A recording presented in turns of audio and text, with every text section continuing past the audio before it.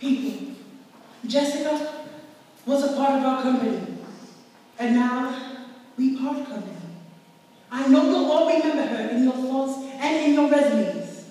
And I know you would like to show your sorrow as both a tribute and an acting exercise. Sasha F. Sharp Minor.